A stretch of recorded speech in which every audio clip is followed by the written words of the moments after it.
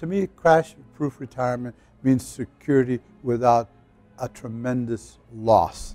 Something that you can count on as a way to get ahead and, and, and meet your, you know, the things that you want to do and, uh, and not worry about the stock market, whether it's up and I'm going to make money or whether it's down and I just lost a lot. It's, it's, just, it's just fixed.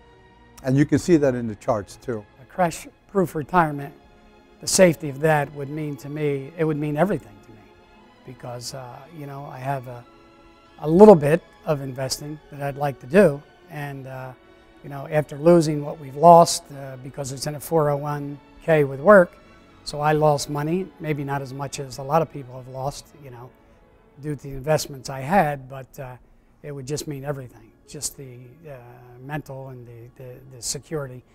Not so much even for me, for my wife, who is 10 years younger.